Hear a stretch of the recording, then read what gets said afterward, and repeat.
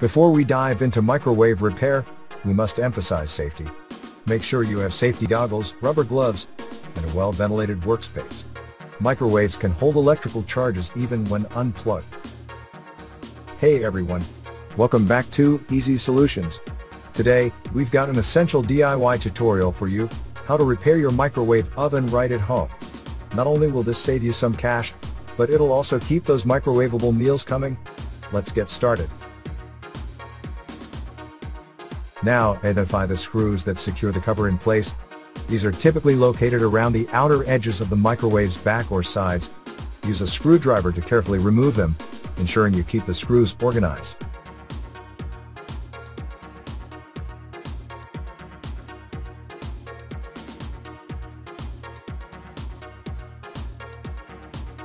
First things first, identify the problem with your microwave. Is it not heating? Are the buttons not responding? Making strange noises?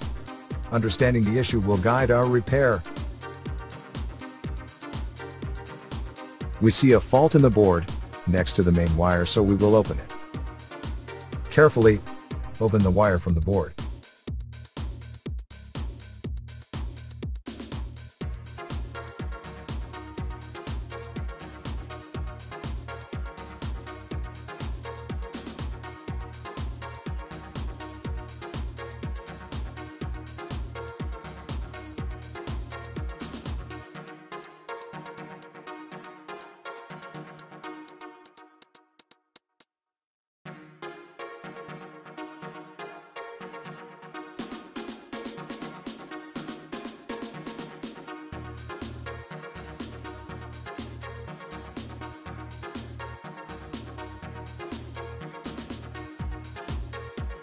You can see that its relay is damaged.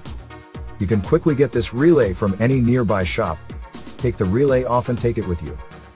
You can pick up and plug in the relay next to it.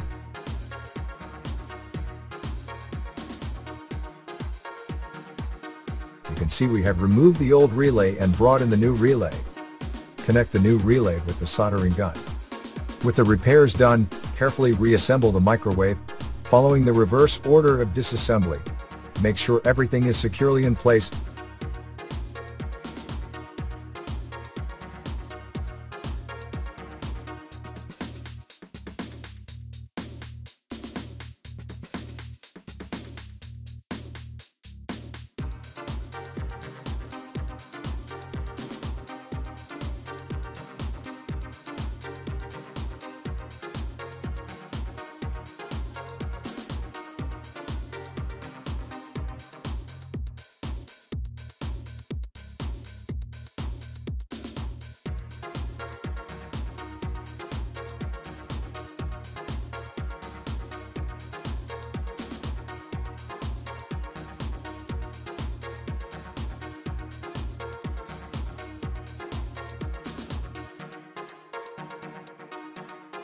Fix the board and put the wires in their place very carefully.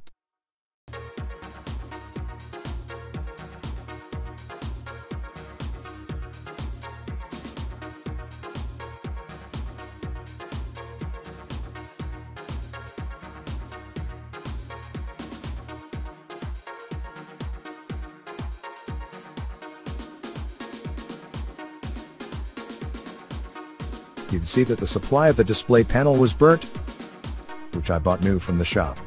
To access the display panel, you'll first need to remove the control panel cover. This usually involves removing a series of screws around the edges of the control panel. Once you've removed the cover, you'll see the old display panel. Carefully disconnect any connectors or ribbon cables attached to it. Take note of their positions so you can reconnect them correctly later. Now it's time to install the new supply. Carefully position it in place and secure it with the screws you removed earlier.